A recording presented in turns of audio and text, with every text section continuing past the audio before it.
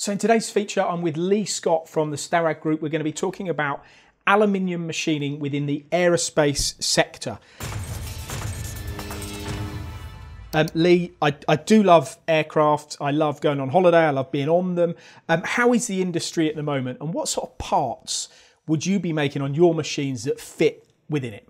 Well, the industry is buoyant at the moment, especially after COVID, and on the on, on the increase. I mean, rates Single aisle rates are upwards of 70, or, or, people are being told to get ready for rates upwards of 70. So there's going to be a lot of aluminium What's that, parts. 70 aircraft per? Per month. Per month. 70 yeah. a month. So typical parts might be uh, smaller parts like a, a D-rib or, or an A-frame type component through a range of, say, ribs and spars, bulkheads, those kind of parts. So from as big as your hand, if you like, up to several metres long. And it's fair to say it's a great industry to be involved in and to, and to be servicing. But in order to do that, there are certain challenges that you may need to overcome to be competitive, for example. So, what are those challenges that people face in the aerospace sector machining components? Well, I think through, through the complete range of sizes of part, most parts come from plate, some from forgings, uh, but, but most parts are plate. So, over 95% of the plate is turned into swarf. So, very, very effective roughing processes, very effective finishing of the surfaces, and also um, the automation of, of, of, the handling systems to get the parts on and off effectively as well. I mean, is everybody, and it might sound a stupid question, looking to make these these parts that you mentioned even quicker and even quicker all the time, and they're looking towards the technology in order to do that? Well, the market's constantly telling us they're being driven down on costs. So um, I think even when you win a contract, you're then challenged to reduce costs over the, the next two, three, four years. So cost is, is the biggest driver and, and, and you'll only reduce costs by reducing time. And when we look at your machines, some of the ones playing on the screen, I've seen them in real life in action. They're just jaw dropping how fast they are and how much metal removal you can produce. This is really what we're talking about, isn't it? Well, we're, we're talking about uh, 10 to 12 litres of aluminium per minute when roughing. So an, an oil drum, if you like, in less than a minute. So there's, uh, there's a lot of swarf produced. You've got to get rid of that swarf, uh, even on the small machines. And then, of course, when, when, you, when you're actually finishing, um, you've got to be able to very dynamically move the machine around the, uh, the pockets and the outside shapes of these parts. Which is certainly where the Ecospeed head technology comes in.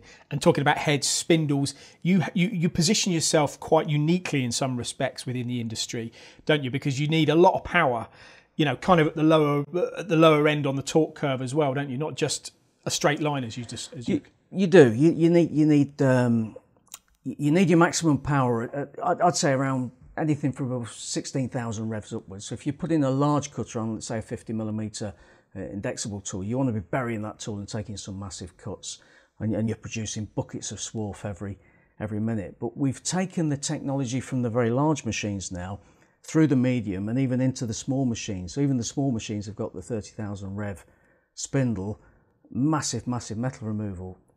And I want to talk to you then about the automation then, because there's an area here where um, your your tables are quite capable in terms of the loads that you can put on them, fixturing parts up. The engineering solution is very important as well, isn't it? And the automation. Absolutely, and, and again, it stems from the larger machines. So even on the larger machines, we have automated pallet systems across the whole range. So the, the, the changeover time is only just a very short number of minutes. Um, we've taken that technology into the medium and the small machines. And on a small machine, if, you, if you're manufacturing a component in just a few minutes, you can't have somebody standing there just constantly feeding that machine with raw material and setting up. So on our machines, we do have an advantage that the table group can take a much heavier weight than most of our competitors. So we can put a tombstone and multiple parts on a table. You get a longer in, in, in machine cycle time. You're coupled with twin pallet and you're often coupled up to either a robot or an FMS system. So it's all about keeping those very hungry machines fed. Um, Lee, what are the machines within the Starrag Group's portfolio that we see here and that are perfect for aluminium machining within the, air, within the aerospace uh, environment? Well, if we, if, we, if we talk large, we're looking at the Echo Speed machine as, as featured in, in, in, the movie behind us. Starrag's STC range, where you've got a B-axis table and an A-axis head, extremely dynamic, capable machine for the medium-sized parts. Then on the smaller machines, we're using Heckert's new compact range with, with the five axis trunnion table, horizontal spindle, 30,000 revs, and again coupled with the automation. So you see a lot of movies at the moment with very fast machines with a, a billet held in a, a couple of vice jaws. It's great as long as your part's squashed and as long as you're going to be loading and unloading the part by hand. But really, I don't think that's feasible. Not it's not real world market. parts in some in, in some respects, is it? it? You know, parts are very different as you see here in the movies.